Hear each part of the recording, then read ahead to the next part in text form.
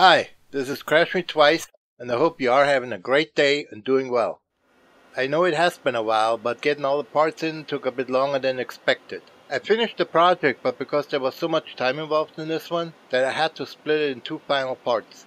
Hence, you will be watching part one and a half. In this part, I am going to show how I made the steering damper system, and how I've mounted it to the WarBRD rudders.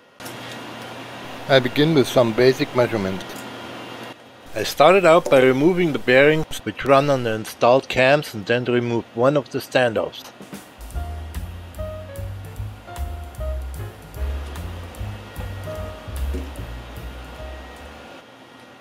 I will be using 1 quarter inch aluminum plate to make a post plate for the damper.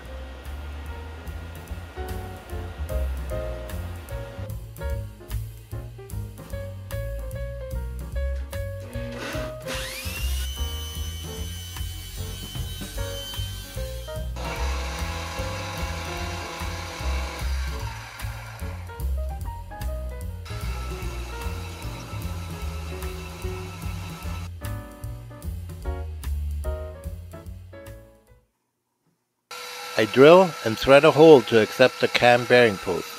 It will be installed without the original bottom nut, but instead will be bolted directly into the new aluminum plate.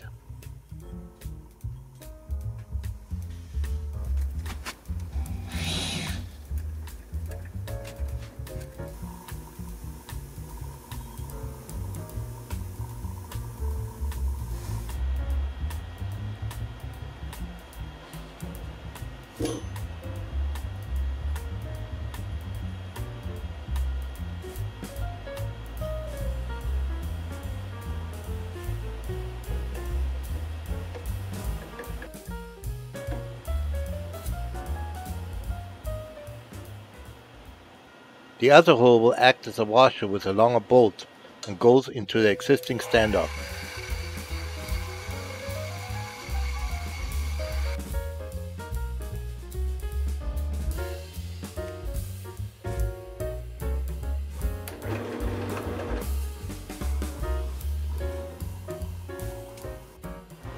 On the bearing shaft, I get rid of three washers and one nut. The remaining nut gets replaced with a lock nut. All magic.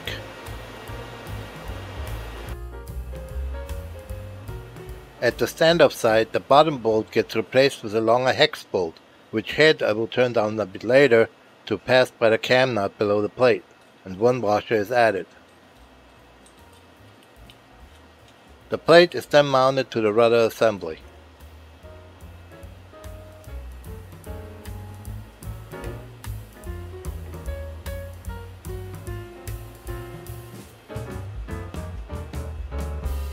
I roughly draw out the area on the plate which will be cut and machined away later. The post for the steering damper will run in bearings. A pillow bearing on the top of the plate and a recessed 16 by 8 by 5 mm bearing on the bottom side. Pillow bearings are self-adjusting and will angle up on you if you're not guided by additional bearing.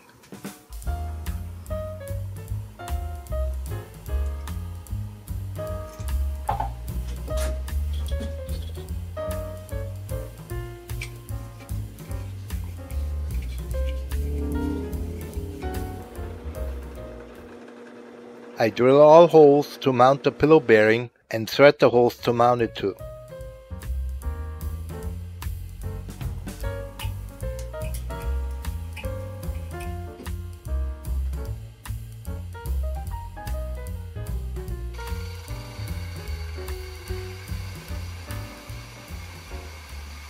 The center hole is exactly 60 mm in diameter to accept the guide bearing.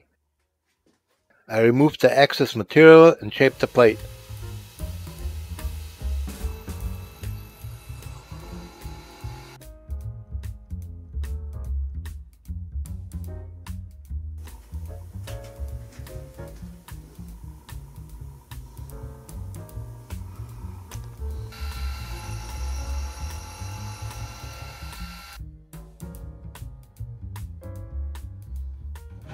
I use files after machining to get a nice final look.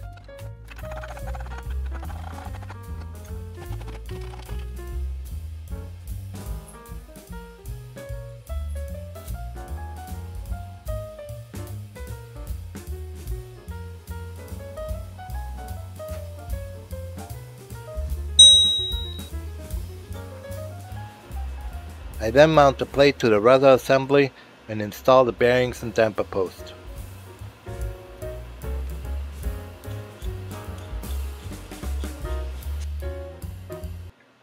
Post location was measured 58mm from the center of the VIRPIL axle and 32 degrees offset. I calculated this to achieve the most linear action of the damper within the length of the piston movement and in correlation into the damper body.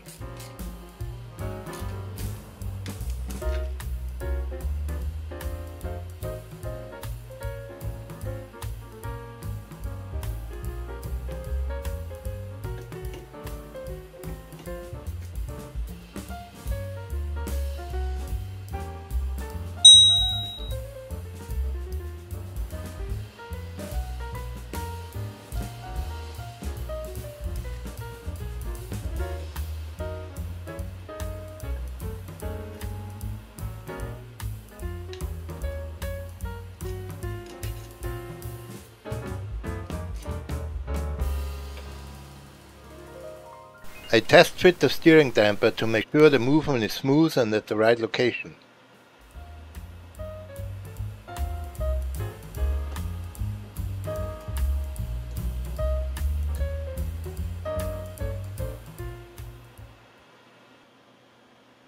You can see on the bottom of the plate the installed guide bearing for the damper post.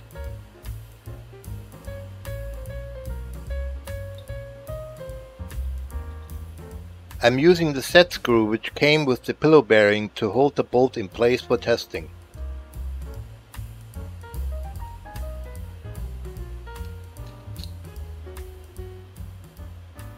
I'm also using thin washers to get the exact height for the rod end to run on. I then install the VIRPIL cam bearings bolt and use Loctite 243, the blue one.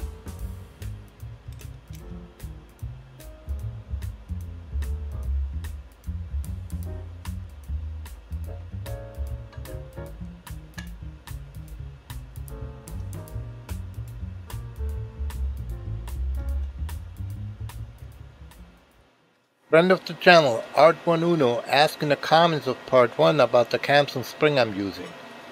So here it goes. I am using the springs I had from a Mike Scissor suspension boom purchased on eBay quite some time ago. Be aware that they may have changed since. For the cams, I've installed the VIRPIL hard center cams to make the center feel more prominent using the Superlight springs from the boom. Thanks for the comment, Art1Uno.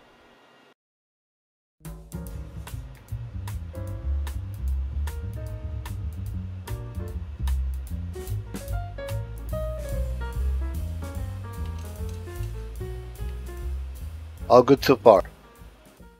Time to cut a 40 by 40 aluminum T-slot profile to length. I will be using this to mount the second post which will be holding the steering damper. I am making a center guide to make it easier to adjust my mill to bore the slot for the banjo fastener. I will also save me some time in the future.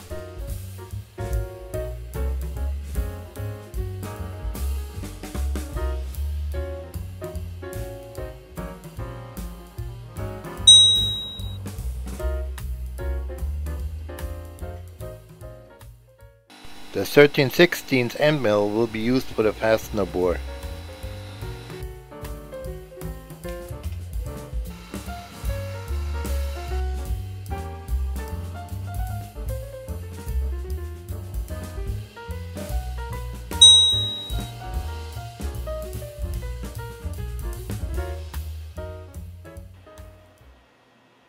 On the 4040 profile, I'm only boring a hole on one side. On the other I will be using a 90 degree angle fastener. Otherwise, the strength of the 4040 will be compromised by quite a big margin.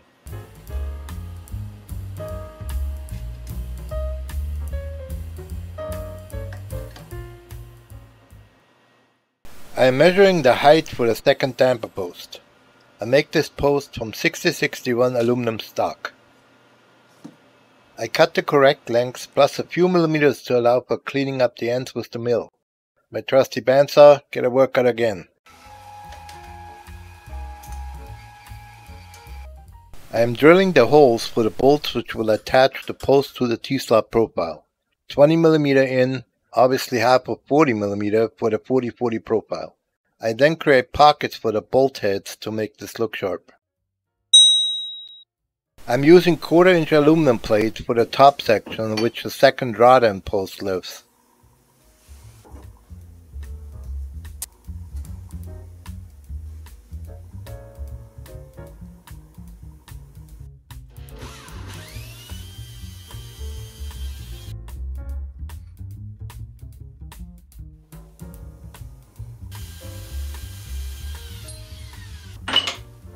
After cutting it roughly to shape, I machine it to the correct size.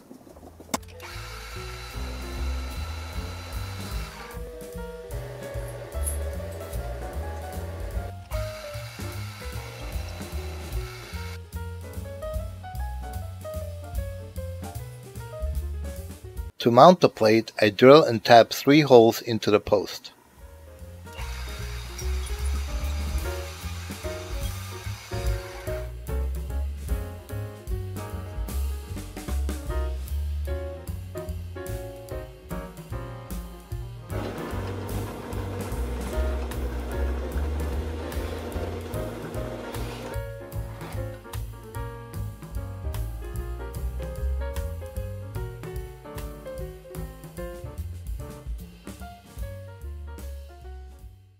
Back to the plate, I drill three 1 8 inch holes and then drill them out to 5 mm. I don't have a 5 mm collet for the mill, and so I'm using a smaller drill and work the rest out in the drill press.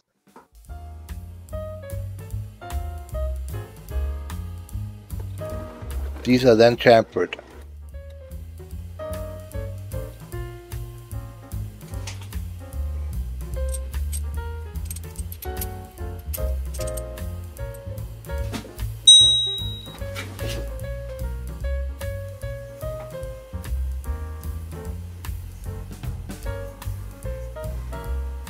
Now I bore the holes for the second pillow bearing, just like previously for the plate on the rudder assembly.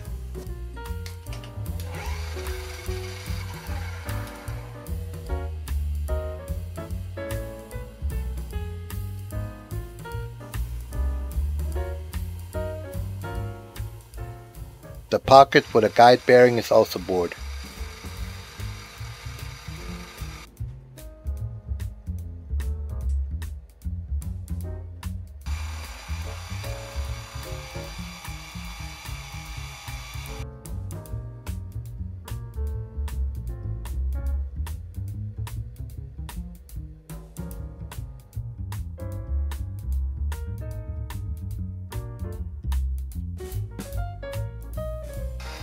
Some material removed to make it pretty.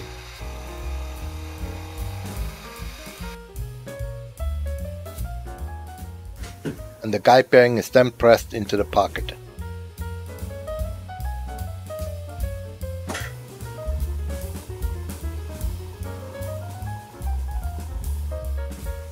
And of course I didn't have the right length bolt and I had to make one.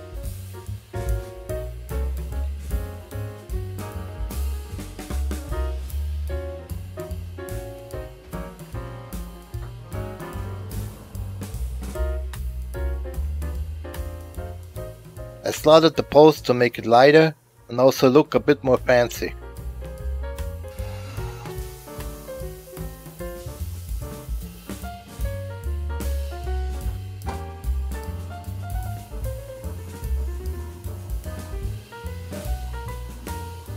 And here's my dirty thumbs up. Now it's time to put it all together.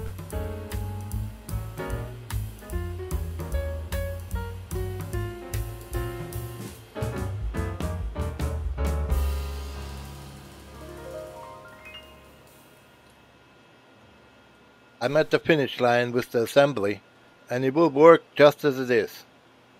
But next time, in the last and final part, I will make some changes to the damper itself, and with that, I will be completing the damper mod with some fine tuning followed by the final install to my sim pit.